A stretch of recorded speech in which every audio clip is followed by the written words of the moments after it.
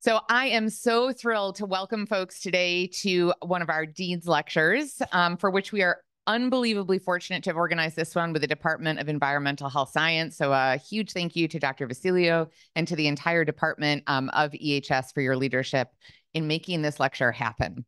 So thank you.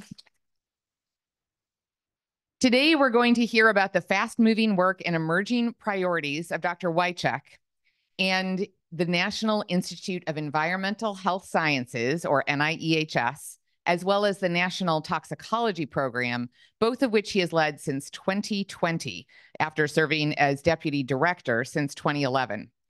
In these roles, Dr. Woychik oversees federal funding for biomedical research to discover how the environment influences human health and disease. And I know that today he's actually going to talk about a really cool transformative framework for how we think about what environment even is. Um, we've done a lot of talking at the school over the last eight months about paradigm shifts and inflection points in public health. And I will say his leadership of NIEHS really uh, epitomizes that. And I think you're all going to be inspired, even if you don't count yourself already as an environmental health scientist, to become one uh, based off of the talk that he's going to be giving.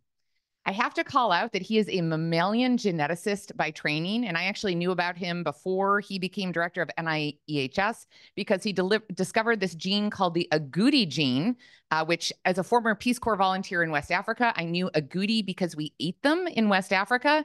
But he discovered this gene as one of the drivers of obesity in humans, and then started to look at the way in which the gene varied according to what you were exposed to. So some of this very early work on what he'll talk about today around the exposome. So a neat path from one scientific discipline to another um, to really illuminate whole human health. Prior to arriving at NIEHS, he served in a variety of other roles, leading the Jackson Laboratory as president and CEO, serving as head of the Mammalian Genetics Section and director of the Office of Functional Genomics at Oak Ridge National Laboratory, and serving as vice chair for research and professor in the Department of Pediatrics at Case Western. He completed his MS and BS at the University of Wisconsin uh, Madison, earned his PhD in molecular biology at Case Western Reserve, and received his postdoctoral training in the laboratory of, of Philip Leder at Harvard Medical School with that, I could go on longer. Dr. Woychik, we are truly thrilled to have you here and look forward to learning from and with you. Thank you. Great. Thank you. Good. Okay, just doing a sound check. Can everyone hear me okay? Even in the back of the room? Terrific. Got some thumbs up. Well, I am just delighted to be here. I've just had a very energizing morning meeting with many of you, and I'm very encouraged by the both the science that you're doing and the collaborative spirit that you bring. You've got a wonderful dean who's bringing some terrific leadership to the school. So I'm going to talk today about the efforts that are underway at, at my institute to plan the future of environmental health sciences. But I want to be clear, this isn't Rick's ideas. So we've been reaching out to the mm-hmm. global community, listening to what all of you have to say and listening to what people in, outside the United States have to say. Where should we be going? You know, given some of the powerful tools that we have now to do environmental health sciences, where should we be going? And most importantly, one of the things that I'm personally passionate about is we need to integrate the environmental exposure to environmental sciences into the fabric of the way that we study the etiology of human disease. You know, air pollution causes uh, or is associated with you know, hypertension and a whole variety of other defects. It's not just gene variants that you inherit from your parents. So what we're putting together is now a framework. How do we start working more collaboratively together across different disciplines to ultimately, again, better understand the etiology of human disease? So let me, uh, since many of you are probably not so familiar with my institute, uh, I thought I would take just a couple of minutes to give you a little background. So what is NIEHS? Environmental Health Sciences, National Institute for Environmental Health Sciences. So we are one of the 27 institutes or centers that comprise the National Institutes of Health. Probably heard of the NCI. Um, so we're one of those. Uh, now we're located in Research Triangle Park. So if you're going to come to visit me and you take the metro from the, uh, the airport to Bethesda, you've got about a 300 mile walk uh, south to North Carolina to get to my office. So why are we in North Carolina? uh, well, there's a good scientific reason and a good uh, political reason for that. So the science reason is that we're an institute, as you will see from our mission and vision, we're dedicated to public health. So if the government is going to position an institute dedicated to public health, why not put it right next to one of the, well, probably second only to the public health here at Yale, but there's a great school at the University of North Carolina, uh, the School of Public Health. Duke, which is just down the road, has a very strong program in the environment, and North Carolina State University has a very strong program in toxicology. So why not put us right in the middle of all of these uh, outstanding institutions? So that's part of the reason why we're there. But the real reason why we're there is it turns out Governor Sanford delivered North Carolina to the Kennedy, um, the Kennedy uh, group in 1960, way before most of you were born. And the quid pro quo was that when the governor in the mid 1960s had this vision to create the Silicon Valley of North Carolina, it's called Research Triangle Park. Has anyone heard of this? Okay, so most people have. NIEHS was the anchor tenant. So you needed an anchor tenant. And then once NIEHS was there, we drew in Glaxo, we drew in IBM and other places. And needless to say, it's been a real success story. So we, like other institutes, we're not the biggest and smallest. We have about a billion dollars every year to spend to support much of the work that you're doing. Um, we have uh, our intramural research laboratories. Uh, in fact, we have two different intramural programs. One of them is the Division for Intramural Research, where we essentially study the basic um, networks, biological networks that drive human biology. And we also have the, the Division for Translational Toxicology. And that's where we take, it's more of an applied uh, division, where we take some of that fundamental knowledge and we build tools uh, to assess toxicity. So those are the two different intramural divisions. Most of the money that we have gets bundled up in the form of grants and contracts in our extramural uh, uh, program and shipped out to places like Yale. So that's uh, the little bit about the, uh, the, the Institute. Now, what differentiates NIEHS from the NCI and other places is really our mission and our vision. So we're all about uh, discovering how the environment affects people in order to promote healthier lives. And the vision is the real differentiator. So it's the provide global, global leadership for innovative research that improves public health by preventing disease and disability. So the preventing part is really the differentiator. So we think that the best way to deal with cancer is to prevent it in, in, the, in the first place. So that's the challenge. And we do that by studying the environment. Now, it's a challenge for us because we define the environment very broadly. It's not just synthetic materials like perf uh, perfluorinated alkyl substances, PFAS, you know, Teflon, Scotchgard, and a variety of things. It's also a whole variety of different agricultural chemicals, uh, different uh, pesticides, uh, contamination in the air, water, and the soil. Uh, we study disasters and wildfires. We study the influence of diet. We should be studying the influence of diet. Diet is a very important uh, variable in, in actually promoting uh, good human health. Or if you don't, if you have a Twinkie diet, that's probably not going to be the best thing to promote your health. But we look at exercise, uh, psychosocial stress. I mean, these are really important. So we look at all of these different things, and so it's complicated. But additionally, I mean, what we're now emerging into, and part of the reason why Dr. Birnbaum hired me as the deputy director initially, is the recognition that we're all different. Okay, so we not only look different, look across the, uh, the, the auditorium. We look different, but we're also biologically different, and we respond to environmental exposures in different ways. So what we need is we need this sophistication where we can now start thinking about not just population-based statistical averages about what's good or bad for you, but really looking at kind of individualized prevention strategies. So let me take you now, focus the rest of the time on some of the emerging themes that are part of our strategic plan. So we've been working on our strategic plan. I've done a lot of work on strategic planning, and it's you you don't develop a strategic plan by going you know going into my office, locking the door, and then figuring out what we're going to do, and then telling everyone else what we're going to do it's really engaging the world community. So we spent a lot of time last year at about this time we started by reaching out to hopefully many of you. You provided input. Uh, we also had uh, a series of uh, virtual, we call them open space. So anyone that was interested in a given topic could sign on to that, uh, that, that open space session and provide input. And we had breakout groups. And we took all of this information, synthesized this, uh, uh, this, these, uh, the concepts were presented to our senior leadership, to me and to the senior leadership team. Uh, we've developed some goals around this, and we have a first draft. And so we are circulating this to our council, and we're hoping that this will get on the street sometime in the next few weeks. you'll have a chance to take a look at this. We want public comments. You know, is the, the language in our strategic plan, does it reflect truly the types of input you want to give us? Because in the end, I want a strategic plan that we all feel that we can rally behind and actually join forces and do collaborative science together. So uh, hopefully we'll get all of this together and sometime maybe in the June, July timeframe, we'll be able to publish the, the, uh, the strategic plan. So now pay attention to that because when we look through grants, uh, as I look through every grant that comes through, we cross-reference this to our strategic plan. So how well does this truly reflect what some of the needs are that we've articulated in our strategic plan? So you might even want to cross-reference this when you're writing some of your introductory comments and your, and your grants that you're sending in. So anyway, so with the remaining time, what's clear is that in our strategic plan, there are six different areas of scientific focus. And by the way, if you want the slides, I'm happy to give you the slides. So, uh, and the, they're, they're shown here.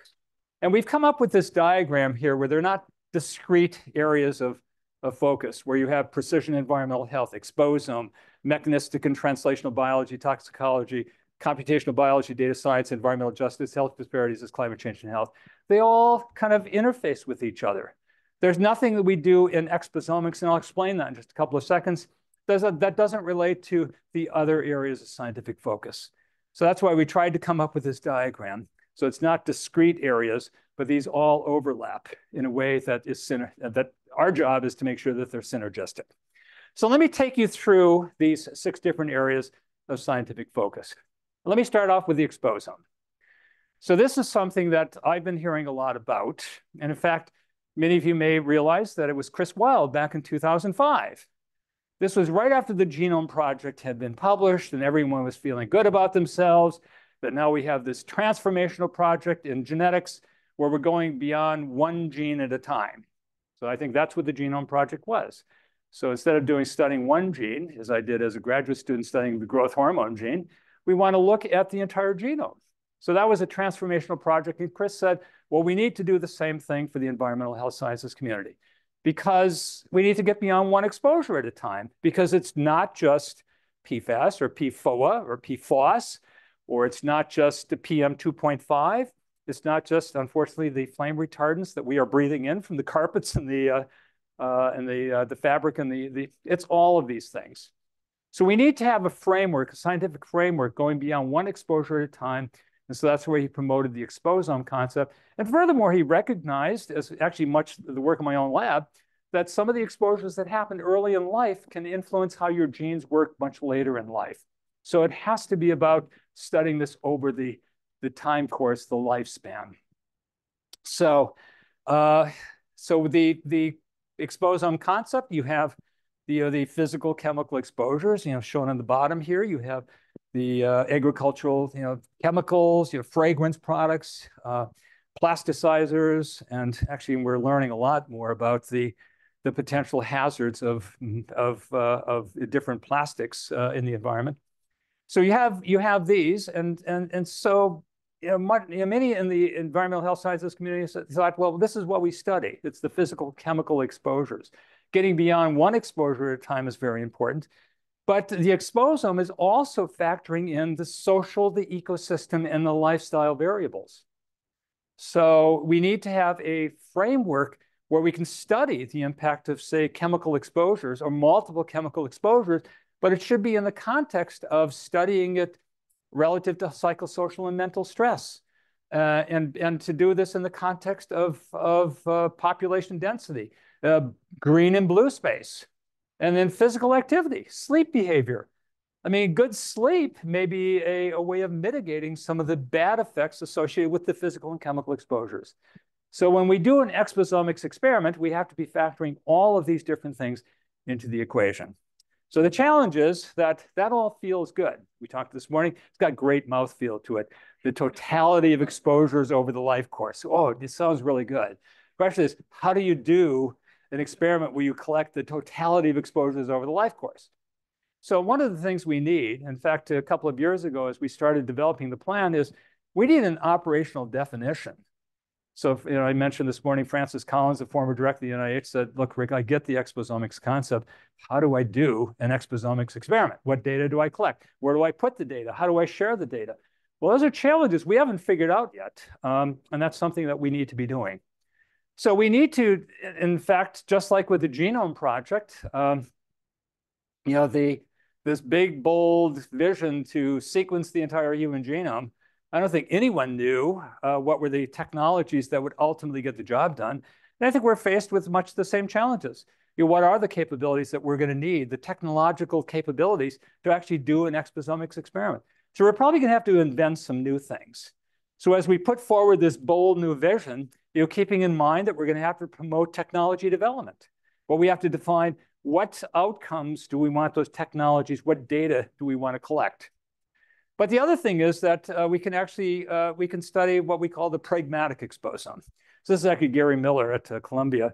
You know, the pragmatic exposome is, well, we do have the ability right now to actually collect things beyond one exposure at a time, you know, high resolution mass spectrometry. And we, we talked about some of these actually with many of your colleagues here at Yale.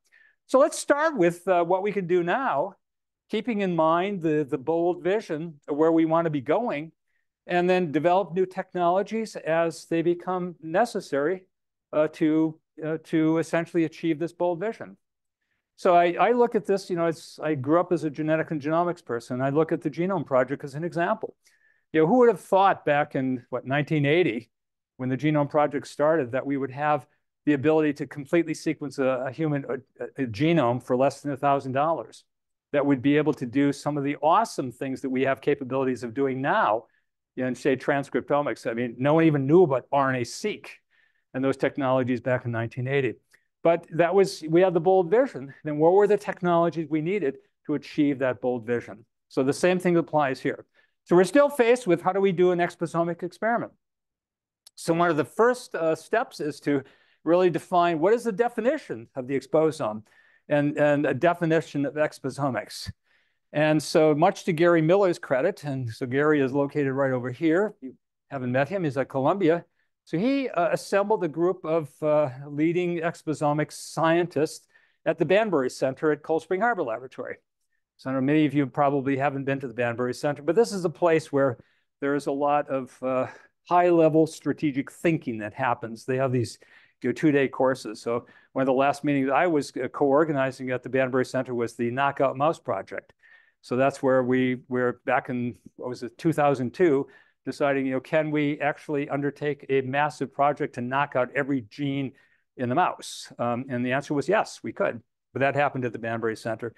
So what Gary and his colleagues did was they worked on trying to figure out how do you define the exposome? So the, the, the, exposome is the integrated compilation of all physical, chemical, biological, and psychosocial influences that human biology. Again, it, got great mouthfeel to it. Um, and exposomics is a transdisciplinary field aimed at a discovery-based understanding of how the exposome influences biology and health.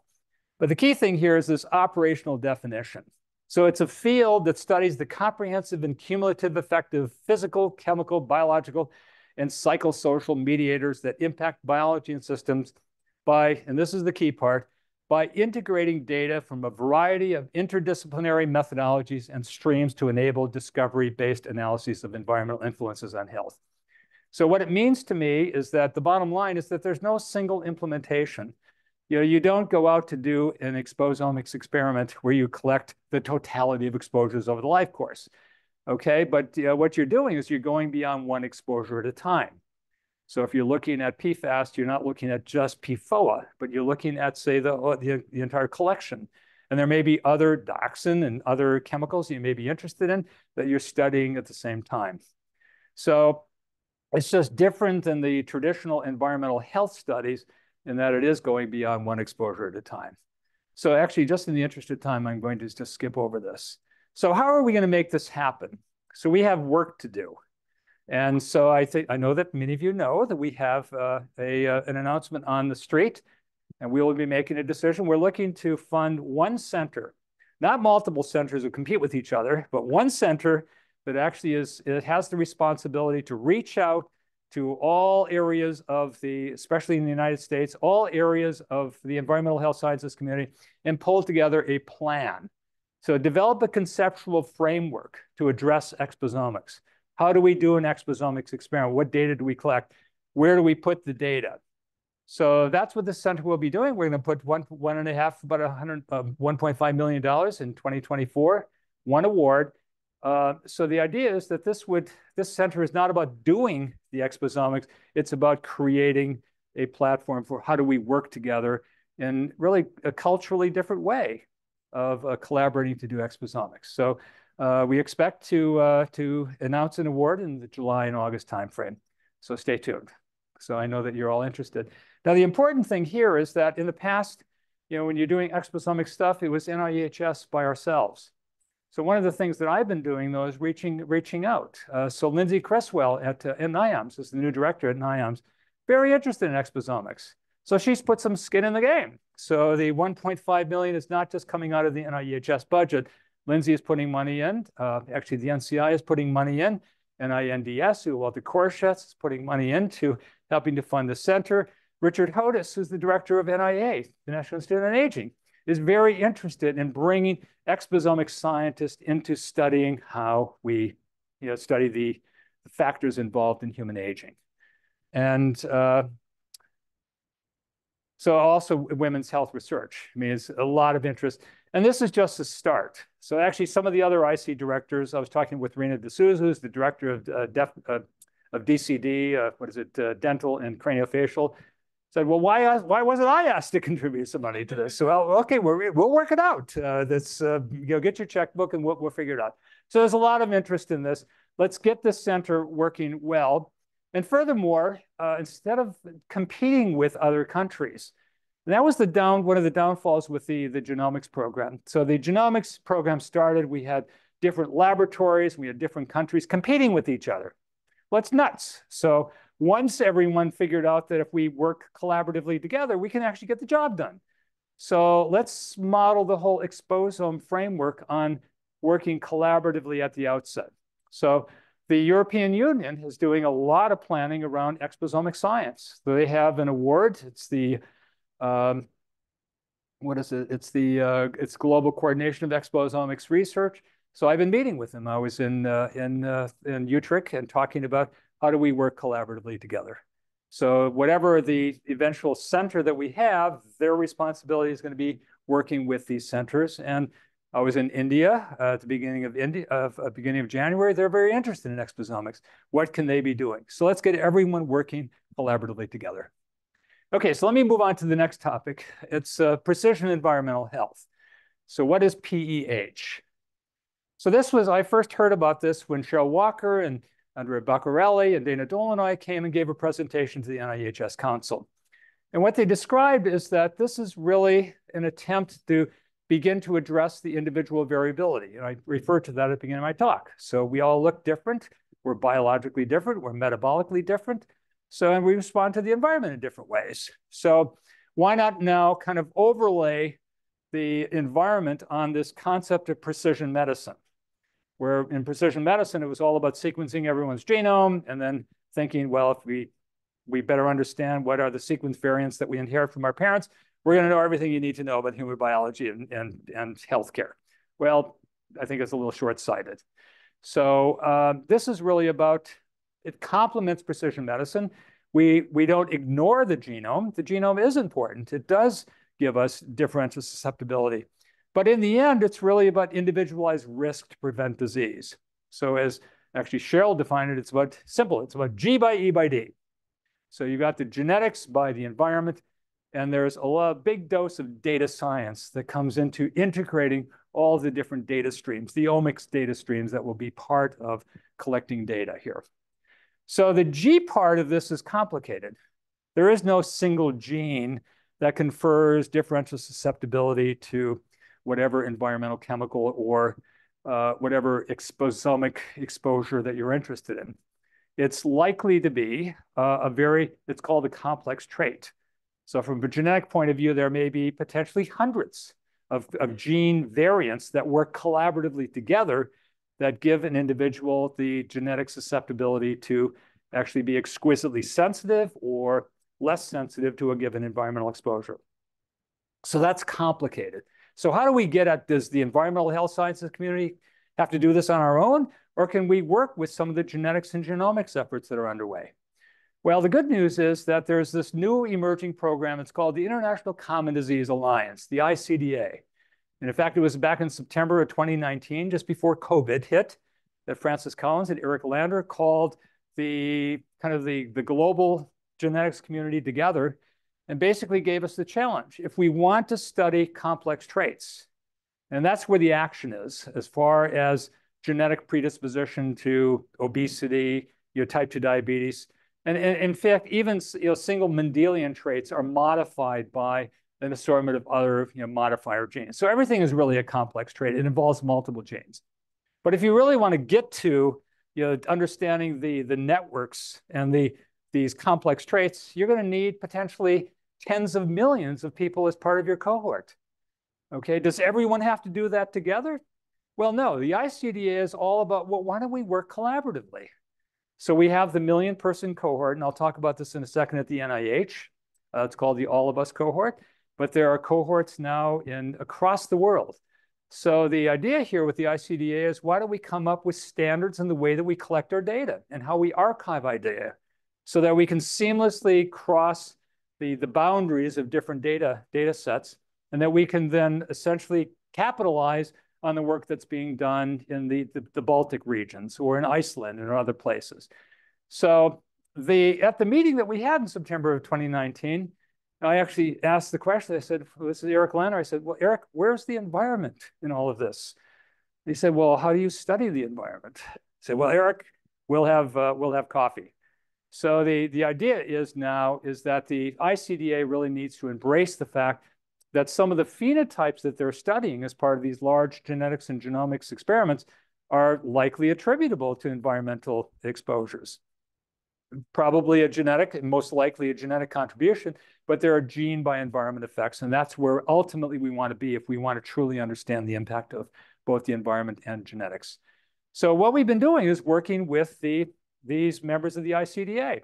What can we be doing to uh, actually integrate the environment into studying you know, the genetics and the etiology of human disease. So the good news is that we have the All of Us program. So if you're not familiar with this, this is the, the 1 million person cohort that's sponsored by the NIH. I think it was one of Francis Collins's legacy programs when he was still the director of the NIH.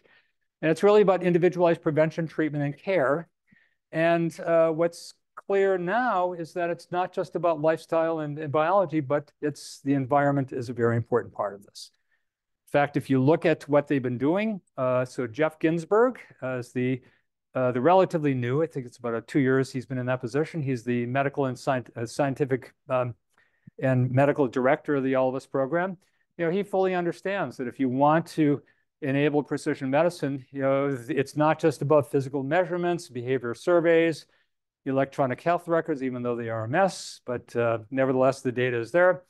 Uh, wearables, you have to in integrate the environmental data. So they're very interested in doing that. So the challenge now is how do we do this in a systematic way on uh, potentially a million people and doing it cost effectively? So he's bought into, he said, okay, Rick, we're ready to go. Okay, start collecting this data and do it cost effectively and put it into our database.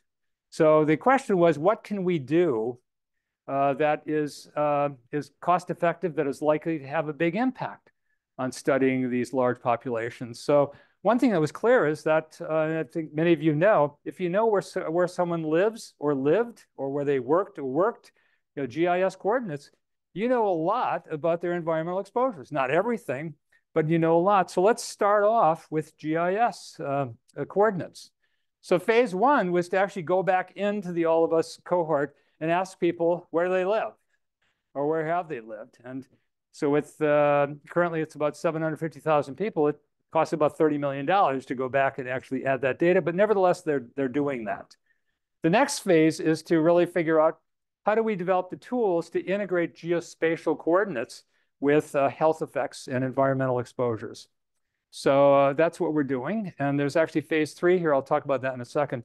But once you have the geospatial data, uh, you can begin to use the global air quality models. Uh, you, you have daily weather.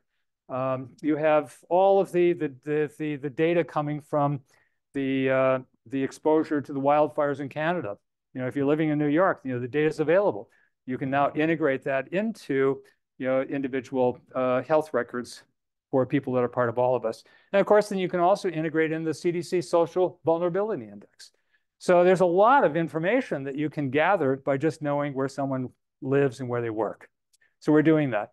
But we're also looking to the future. So can we go beyond GIS coordinates? So we have a phase three pilot where we look at whole genome sequencing, electronic health records, extensive survey questions on lifestyle, social determinants of health. And then you know, looking to bring in some of the kind of the pragmatic exposome, you know, high resolution mass spec. You know, we have serum samples from some of these individuals. And we're using, we're doing a pilot study with the risk of type 2 diabetes. So the genomes have been sequenced, and we know a lot about the multiple different genes, the complex traits associated with type 2 diabetes. Now we're going to overlay that with some of the additional environmental exposures. Then we're going to ask the question, you know, how does knowing something about the environmental exposures, is that more powerful uh, than just knowing something about the genetics? And my prediction is it'll be the combination of both that really gives us what we need and, and, and for type 2 diabetes. But you know, this we presented this to the IC directors and everyone was raising it. Well, where's where's my area of focus here? You know, I'd like to get involved in this. We talked about uh, noise uh, as, as, a part of the the exposome. Um, so there's all kinds of things about uh, noise as part of the exposome. You know, so if you're uh, if you're a hunter, you know, and and you're shooting your you're out hunting and shooting your shotgun, and you don't have ear, ear protection, what are you doing to your you know potentially uh, impacting your uh, your ability to continue to hear? So that's likely to be a gene by environment effect in the longer term. So anyway, stay tuned on that. So we're reaching out, getting uh, collaborative efforts going. We actually have a modest sized program at NIEHS. It's about 20,000 uh, individuals where we're looking at genotype, phenotype, and the environment. Uh, this is a program, uh, again, I don't have time to go into all the details here, but we're really trying to bring all of the different components, the G by E by D, using this as kind of a pilot that we can then ramp up into the million person cohort and potentially beyond the million person cohort to really engage in the global efforts around the ICDA. So there's uh, lots of things that are happening. And actually, at some point, maybe when you have me back, I'll talk about some of the data that's actually coming out of this very interesting program. So it's uh, Jan Hall and Alison Motsinger-Reif are the two PIs. We have our data scientist, Dr. Fargo, and Dr. Schmidt uh, joining in that effort. Okay, let me move on now to another area of scientific focus, environmental justice and health disparities. So I think many of you know, I think it was actually under uh, Dr. Olden's leadership, who when he was the director, he was the first African-American director for an IC, an IC at the NIH. He came to the, uh, at the NIEHS, I think it was in the early 1990s, but he really brought environmental justice and made it a core focus of the work that we do at NIEHS. So I think we were some of the first, uh, first uh, well, one of the first ICs out of the blocks to really begin to study the issues of environmental justice. And more recently, um, I mean, we've done a lot, but there's a lot more we can be doing. So we've established a cross-divisional faculty. So we have members of the, the different divisions, and they put together a, a program. And one of the key parts of their program in environmental justice is we got to get Rick and other members of senior leadership out in front of the environmental justice communities and listen to what they have to say. So I've been doing this. And in fact, uh, in two weeks from now, I'll be spending most of the week in Central uh, California, listening to uh, some of the migrant farm workers and uh, others. Uh, what are some of the environmental issues, environmental justice issues? And there are there's a lot. But most importantly, we've actually been getting in front of these different groups. And, you know, I've been, you know, we, you know, the NIH does research, so that's what we can do. But I'm getting in front of these groups and they're looking at me and saying, okay, you're back again. I mean, your predecessor was here and your predecessor was here. We keep telling you what you want. Uh, we don't need more research. We need you to clean up our, our sites. So the research is clear. I mean, the water is full of PCE, uh, TCE, and the, uh, and the soil is contaminated with all sorts of god-awful things. So there's this place called the Western Electric Tar Heel Army Missile Plant. It's in Burlington, North Carolina, in our backyard. So I went there and uh, we met with the community. But this time I, I decided that it's not going to be just the NIH. Okay, uh, so we're taking an, an all government approach. So I asked the organizer, I said, I want someone from local government there. I want someone from state government. I want the EPA there with me, okay? Someone who manages the Superfund sites. Where's the Army Corps of Engineers? So I want all of them on stage with me when we're addressing the concerns of the people in the community. And in fact, they were there. And what was clear is that the Army Corps of Engineers talked about how they've been doing all of this work. Uh, and then the state uh, um, uh, health agency was there talking about all the work they were doing, but there was no points of intersection and the community wasn't getting cleaned up. So that the meeting that we had was, this was transformative. In fact, we had the person leading the environmental justice office at the White House who was there. Okay, so at the end of the meeting, we decided that we're going to do some things differently, where different parts of the, the state, uh, local, state, and federal government are going to start intersecting. And we're going to start develop plans to clean up the site. And furthermore, we want to know what is the local government going to do with the site once it's cleaned up? So what's the vision there? So the good news is that this all of government approach actually worked. So instead of just talking to the group and listening to what uh, actually, my wife at breakfast a couple weeks ago actually read the, the newspaper. She said, Rick, said the uh, Army Corps of Engineers began excavating 300 tons of contaminated soil from this site. So we've taken the first step into actually cleaning up the site. And it turns out that the local government, they have beautiful plans of what to do with this site. It's right in the middle of town. So once it's cleaned up, this will become a a focal for some of their economic development. So we're really pleased. So for your community engagement, you think about the all of government approach. So shouldn't be just about doing research from the NIH, listening to what the community needs, but in many cases, I tell you, these, these environmental, uh, these environmental justice communities, they want their site cleaned up. So the other thing I'll just comment in terms of environmental justice, uh, Secretary Becerra, uh, coming directly from uh, President Biden in the White House, environmental justice is a big focus of the US government. And so he, uh, Secretary Becerra pointed to the NIH and said, I want three things that the, you're gonna do in the next 18 months, okay, with definable deliverables in the, in the whole area of environmental justice. So uh, Trevor Archer, who's the uh, Deputy Director at NIEHS, uh, is actually taking the lead on this. We're putting together an NIH-wide approach, very similar to what I'll talk about in just a few minutes with climate change and health. And so we have uh, really kind of uh, migrating the centers of excellence in environmental health disparities to also include environmental justice. So you'll be seeing uh, more details on that. We also have something called the Environmental Scholars Program. It's modeled on the Climate Change and Health Scholars Program. I'll talk about it in a couple of minutes. Sorry, the slides are a little bit out of order. Uh, and we also have environmental justice training. We have something called the Worker Training Program that's part of our Superfund site. This is where we go in and we actually teach people how to protect themselves from environmental contaminants. So we have uh, some, some very specific goals that we're setting along uh, those lines. So let me talk about climate change and health. This has been a big area of focus. I know that many of you are interested in this as well. So this followed from soon after the inauguration uh, a few years ago when President Biden signed into uh, signed the executive order 14008 and this was all about tackling the climate crisis at home and abroad. And he specifically looked at the NIH and said, look, NIH, there are health effects associated with climate change. I want the NIH to come up with a, an approach to study the health effects and bring greater awareness to the fact that there are health effects associated with climate change. So NIEHS has, had been done, had been doing most of the work in, in, climate change and health in the past. So we got $40 million from Congress uh, to do this. But I think, you know, I recognize, and many of us recognize, that the issue of climate change and health is much bigger than what NIEHS can do on our own. And furthermore, there are capabilities across the NIH, and there's interest, interest across the NIH. So let's work collaboratively on this. So let's develop now a strategy where we bring everyone working together a, against a common uh, um, set of principles and and uh, using the $40 million, which is you know, a nice chunk of change, but it's not a lot of money. But can we use this in a catalytic way to really launch bigger projects? So the good news is that I actually uh, reached out, and there were uh, actually six other IC directors initially that reached out. Josh Gordon is one of them, the director of NIMH.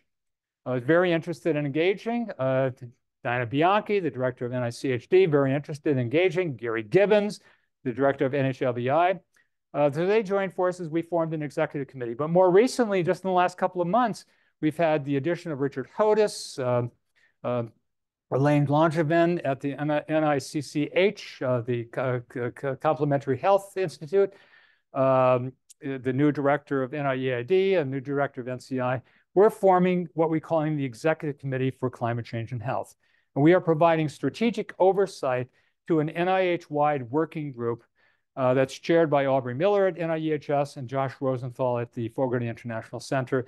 Many of you know Gwen Collman. So I've actually moved Gwen out of the extramural division. She's now reporting to me directly, and her job is to keep the butterflies flying in formation. So there's uh, a lot of coordination that happens, and we're we're changing the culture of way the way we're we're collaborating together. And she's doing a fabulous job. So the, the issue of climate change is complicated.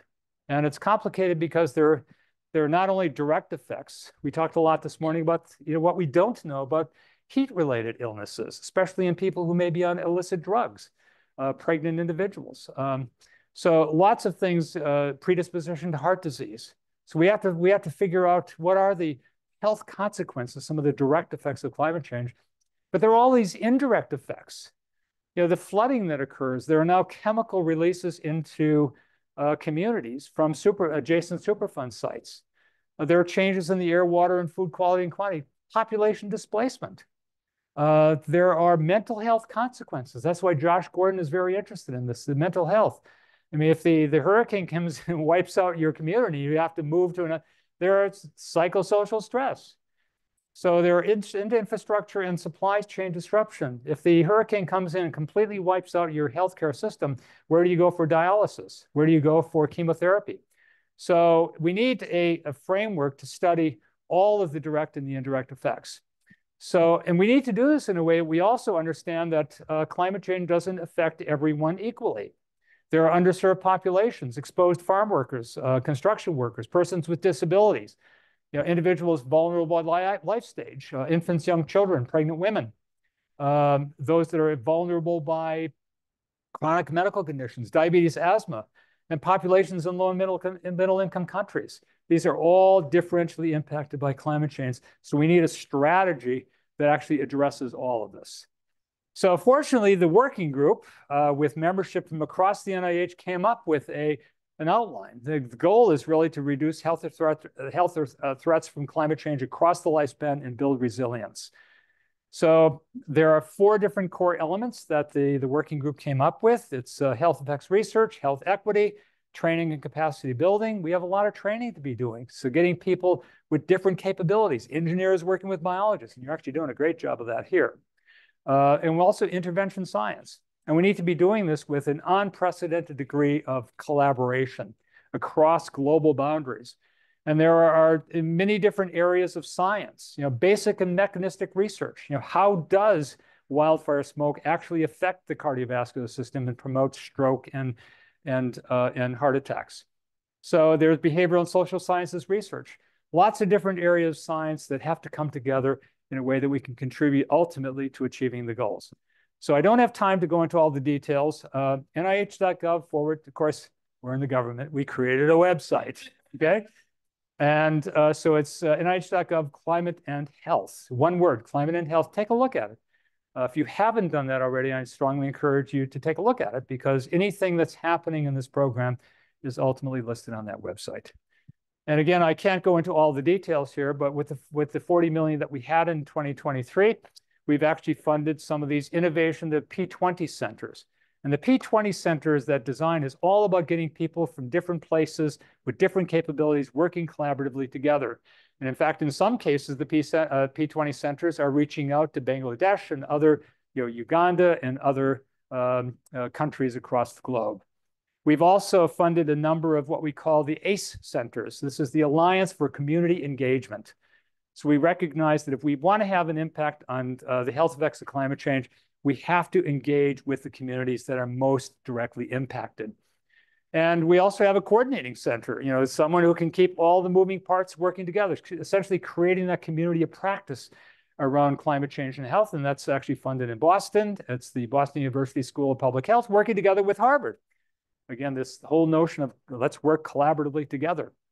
And let's see. Uh, um, and then we also have uh, some collaborations with uh, some NSF uh, centers. So because we're the NIH, doesn't mean we have to build everything ourselves. Let's reach out. And if there are capabilities at the NSF or other federal agencies, let's build on those capabilities and integrate them into the collaborative framework. So lots of things that are happening, but I do want to point out this, uh, it's called the Climate Change and Health Scholars Program. So this is uh, actually the funding for this originally came from Dr. Tabak and Dr. Schwetz, who is the acting director and deputy director of the NIH.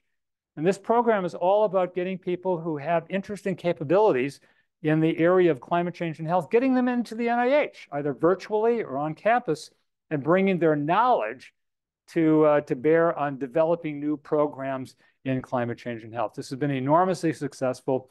Uh, so if you're interested, take a look at nih.gov, climate and health. And so we may be going through another round to bring people on campus. So in the final, uh, so the mechanistic translational toxicology here, it's, I just want to summarize this, that this is essentially the new division, uh, new, new vision for our division of translational toxicology. It really goes beyond, you know, injecting you know, mice or outbred rats with different doses of chemical, counting lumps and bumps and deaths over a period of time. It's really getting me the mechanistic, which biological networks within the, the an individual human or an, an animal uh, are being impacted by environmental exposures. So a big part of this whole effort is to develop, is to use AI and ML, but uh, to develop uh, microphysiological 3D systems you know, derived from induced pluripotent stem cells. So we can take, uh, if you have an iPS cell from everyone in the audience, can you actually differentiate them into beating cardiomyocytes? And then can you look at the impact of different environmental exposures across genetically heterogeneous population without studying humans, but studying your iPS cells. So there's a big interest in this now at the NIH. So if you're not aware of this, uh, there's something called the Common Fund, which is a, a collaborative uh, funding mechanism uh, so NIEHS stepped forward together with uh, Joni Rutter, who's the director of NCATS, the National Center for, Accelerating Translational Science. And so we now have a, this, uh, it's a program, it's called Complement. So Complement Animal Research and Experimentation. So the complement was chosen because we're not talking about eliminating animal research. We're talking about developing new approach methodologies or NAMs that can be used to gain molecular insights into how environmental exposures can impact human biology. So there's a nice chunk of change. It's about 35, 40 million dollars per year. And this, like many Common Fund projects, could go on. It'll go on for the first five years. And if we have sufficient progress, then it can go on for another five years. So the idea here is really developing some of these you know, in vitro, in silico, or in chemical approaches that can advance our ability to better understand how the environmental exposures impact uh, human biology. And in the end, just kind of quickly summarizing, as you may have figured out, there's a lot of data that has to be integrated here. So it's uh, we've we've if if you're so plans get made when it's someone's job to develop a plan. Otherwise, everyone points to everyone else and says, "We'll develop a plan." We now have actually a uh, we you know this well. Um, so we now have an office. So I've, you know, we created, it actually was under Linda's uh, uh, leadership, and I actually was reporting into me as the deputy director, the Office of Environmental Health Science Cyber Infrastructure. And it's really, it's about really developing the plans. What are we going to do? How are we going to manage all these different data sets? And to do this in the way that we can, we can essentially make exposomics, uh, data-driven knowledge discovery happen, computational toxicology, make all of the other things happen. It's a huge challenge. So let me stop here so we have uh, time for Q&A. So thanks very much for being here.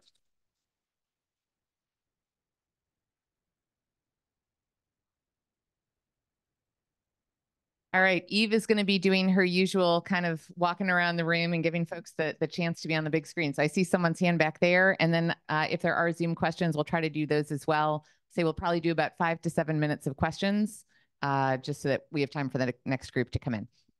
And if, by the way, if you have questions that we don't have a chance to answer here, just rick.woychik at nih.gov. Send me an email. And there's a lunch after this that hopefully you're, okay. so y'all can find him at lunch too. okay.